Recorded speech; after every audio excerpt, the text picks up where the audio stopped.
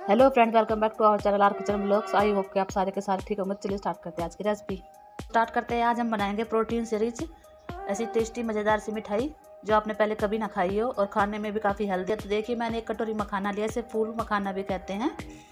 तो इन्हें हमें ड्राई रोस्ट कर लेना है। मैंने गैस पर कढ़ाई रख दिया कर लेंगे ड्राई रोस्ट एक से दो मिनट में ड्राई रोस्ट हो जाएँगे।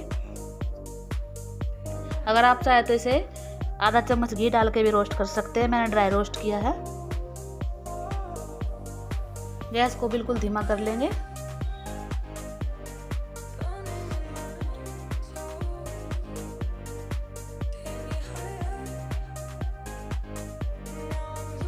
तो देखिए, दो से तीन मिनट में मखाना हमारा बिल्कुल रोस्ट हो चुका है। तो इस तो इसको निकाल लेंगे, इसका बना लेंगे हम पाउडर मिक्सी में पीस कर तो देखिए, इसको मैंने जार में डाल दिया है, इसको हम फाइन सा पाउडर बना लेंगे। तो देखिए मखाने का पाउडर हमारा बन चुका है। अब इसको एक कटोरी में निकाल लेते हैं। देखिए बिल्कुल फाइन पाउडर बन के तैयार हो चुका है।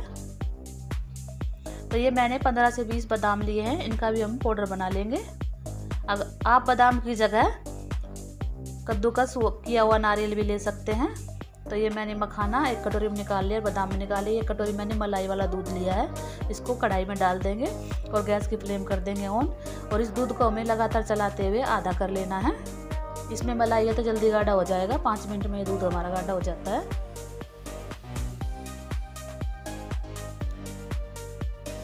अगर आपके पास मलाई ना हो तो दूध में आप मिल्क पाउडर डाल सकते हो, दो से तीन बड़े चम्मच।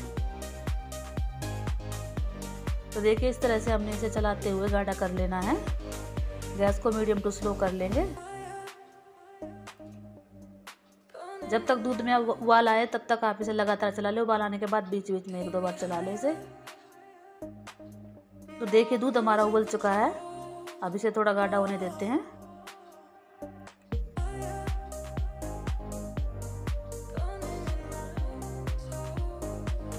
ये मिठाई फटाफट से बन जाती है और कोई बिगनर भी इसे बना सकता है। तो देखिए, पाँच से छः मिनट के बाद दूध हमारा गाढ़ा होने लगा है। अब इसमें हमने डाल देनी है चार से पाँच चम्मच चीनी। आप जैसे मखाना एक कटोरी लिया उसका चौथाई भाग चीनी का डाल सकते हैं। चीनी कम ही डालें क्योंकि हमारे ड्राई फ्रूट्स में वैसे मिठास होती है।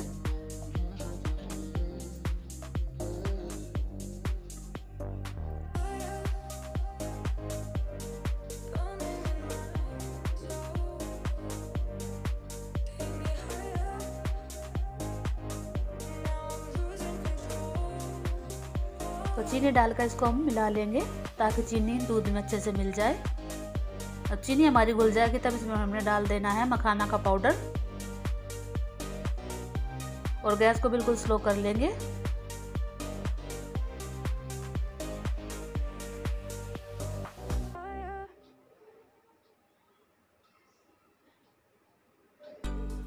तो देखिए, चीनी हमारी घुल चुकी है। अब हमने इसमें डाल देना मखाना पाउडर। और इसको मिक्स कर लेंगे, इसके बाद डाल देंगे बादाम का पाउडर।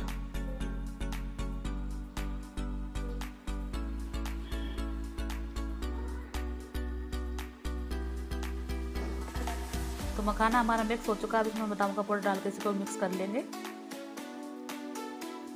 और इस पेस्ट को हमें तब तक पकाना, तब तक ये जमने की फॉर्म में ना आ जाए। ये अपना आप कढ़ाई छोड़ने लगेगा, जब ये जमने लगेगा। तो देखिए बादाम को भी मिक्स कर लेते हैं। और अगर आपको हमारा रेसिपी चले तो प्लीज़ वीडियो को लाइक शेयर कमेंट करिए चैनल पर चैनल को सब्सक्राइब कर दीजिए। और ये रेसिपी घर पर ज़रूर ट्राई कर। बच्चों को खासतौर पर ज़रूर बना के दें क्योंकि मखाने में काफ़ी प्रोटीन होता है।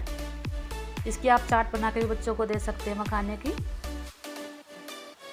तो देखिए मखाना और बादाम बादाम हमारा गाढ़ा हो चुका है और ये जमने की फॉर्म में आ चुका है। तो मैंने एक तो मैंने एक थाली में थोड़ा सा घी लगा लिया। अगर आपके पास कोई ट्रे वगैरह तो उसमें घी लगा लिया और इस तरह से मैंने उसमें बादाम और मखाने का मिश्रण डाल दिया और इसको मैंने इस तरह से लगा दिया। देखिए चम्मच से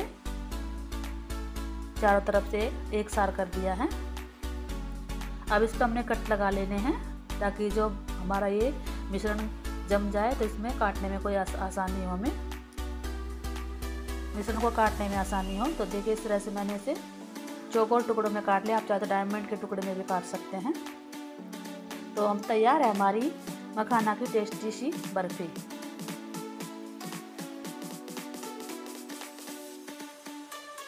इसके ऊपर लगा दिए मैंने काजू और एक एक पिस्ता ये ऐसे फटाफट से निकल जाएगी। 10 से 5 मिनट में जम जाते देखिए कितनी टेस्टी और मज़ेदार सी बर्फ़ी बनकर हमारी तैयार हो चुकी है। और ये हेल्दी भी हमने इसमें एक बूंद भी घी का इस्तेमाल नहीं किया है। न ही कोई मावा डाला है। अगर आपने एक बार ये बर्फ़ी बना ली तो आपका बार बार बनाने का मन करेगा और हेल्दी तो है ही ये। तो अब के लिए बाय मिलते हैं नेक्स्ट वीडियो में, तब तक के